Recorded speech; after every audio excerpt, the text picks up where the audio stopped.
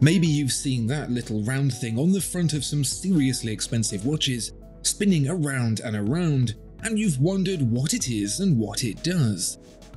Well, that could very well have been a tourbillon, and today we're going to take a closer look at the one in the $110,000 Lange & Heyne Anton to find out what it's all about. Want to save money on your next watch? The Watchfinder price promise means you'll get the best price. Search Watchfinder to discover more. To understand why the tourbillon exists, first we need to cover a little background on the mechanical watch. Rather than being powered by a battery, a mechanical watch draws from a coiled spring housed in a barrel. In any kind of clockwork mechanism, that power in the spring needs two things to work. One, gearing that converts the speed and torque to an appropriate level, and two, some kind of resistance to stop it unwinding all at once. Think about a wind up toy car. Fully wound and off the floor, the wheels spin like crazy. The resistance caused by propelling its own mass along the floor is what regulates it. A mechanical watch has both these things, there's the gear train, a series of wheels that converts the speed of the mainspring into the hours and minutes on the dial. And then there's the escapement, made up of three parts, the escape wheel, pallet fork, and balance wheel. The escapement is like the interaction between the wheels and the ground in the toy car, controlling the speed of the movement. Except, instead of the entire thing being the mass it has to move, there's a much smaller mass instead, the balance wheel. The balance wheel spins around like the wheels of the car, but with no real weight to control it, a smaller spring, the balance spring, is added to add resistance. This adds a further problem that when the spring compresses, it reaches a point of maximum compression and wants to spring back. And so, rather than spinning in one direction like the wheels of the toy car, it bounces backwards and forwards like the round version of a pendulum in a grandfather clock. The pallet fork and escape wheel are specially designed to cope with that changing direction. So, why the tourbillon? Because the balance wheel doesn't spin continually in the same direction, instead bouncing back and forth, it means its position relative to gravity has an effect on its performance. Imagine the pendulum in the grandfather clock but the grandfather clock isn't kept at the same upright angle. It wouldn't be able to swing properly, and that's the problem the balance wheel has, on a much smaller scale. The tourbillon is here to fix that. The story of the tourbillon's invention surrounds one Abraham Louis Breguet, a Swiss watchmaker of the 18th century who's considered one of the best to have ever lived.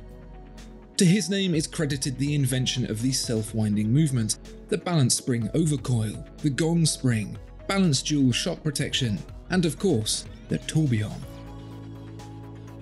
It was in fact on the turn of that century, in 1795, that Breguet conjured the idea. By 1801, the single-axis tourbillon was patented and would become the precision tool of the best watchmakers for many centuries to come.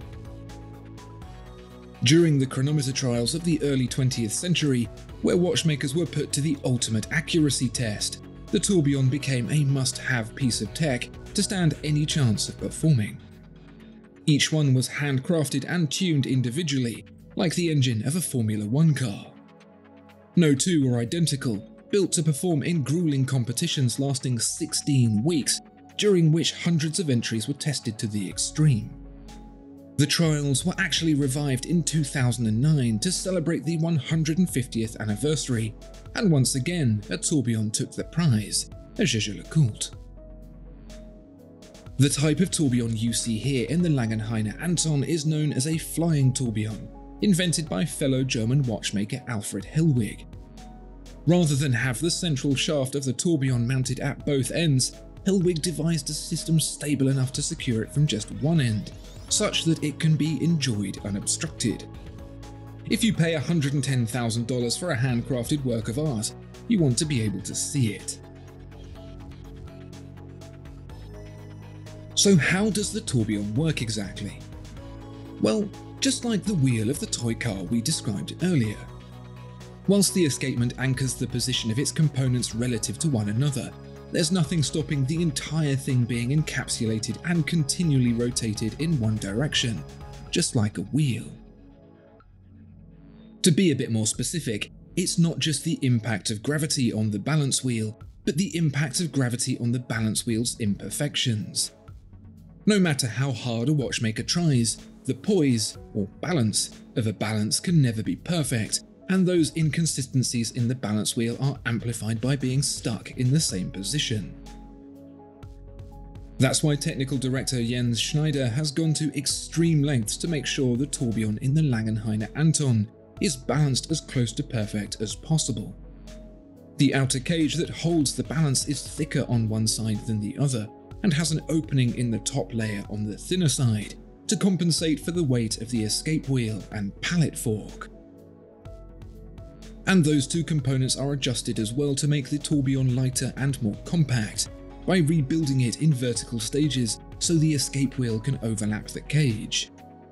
The pallet fork has also been redesigned to sit alongside the escape wheel instead of between it and the balance wheel, so the centre of gravity is closer to the middle and needs less counterweight to balance it. Where the tourbillon gets incredibly clever is when it comes to the next logical question. Well hang on, if the balance wheel can't spin all the way around because it's locked in place by the rest of the escapement, how is it possible to rotate everything? The answer, although difficult to see and visualize, is surprisingly simple. The gear train, instead of rotating the escape wheel as it would in a standard movement, rotates the tourbillon cage and everything in it. Below the tourbillon cage is a static gear which meshes with the escape wheel, so as the escape wheel orbits within the cage, it spins as well, just as it would ordinarily, allowing the escapement to function as normal. This rotation usually happens once a minute, which means the cage can also double up as a convenient second hand. You might think this complication isn't as useful as it seems, because, unlike the pocket watch it was invented for, which hangs in a fixed position, a wristwatch moves around a lot. Well, given today's sedentary lifestyle, often sat stationary at a desk for hours on end, it's never been more relevant. You just have to work more hours at that desk to be able to afford one. With thanks to Lange & Heyne for letting us use their beautiful Anton to demonstrate the inner workings of the tourbillon. If you enjoyed this video and want to see more, please do like and subscribe. And why not let me know what video you'd like to see next. Thanks, and I'll see you next time.